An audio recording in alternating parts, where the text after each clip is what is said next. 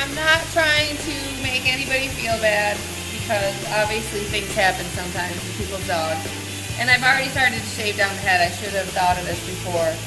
But this is what can happen to your dog if you don't have it groomed for over a year. And it doesn't, everybody thinks, oh, we'll just shave it down.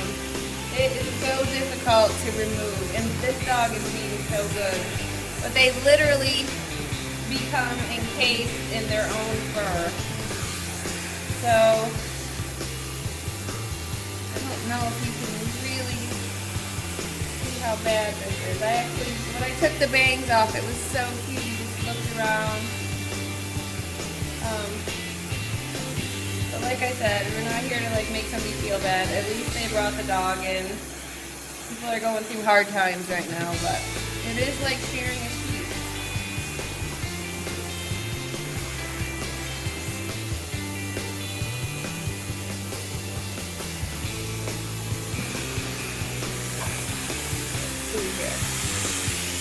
how bad that is? Here, Gizmo. Look your little face.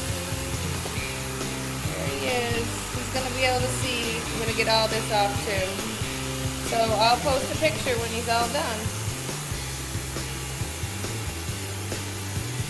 Okay, we're almost done. Ready for the bath. Oops.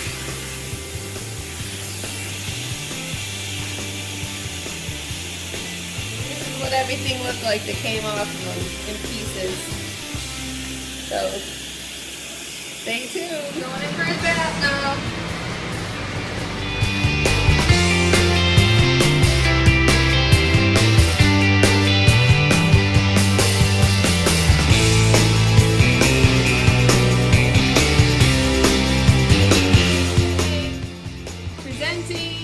adorable.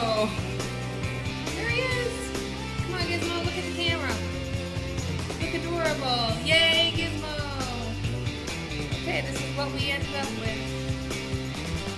Not a show dog, but he feels a lot better. Say bye, Gizmo.